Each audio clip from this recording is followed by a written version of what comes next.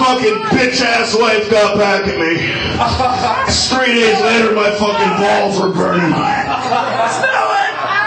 I looked down at my balls and saw these little bastards crawling around, and I picked one up and held it to the light and saw that little slut with a piece of my balls in its mouth.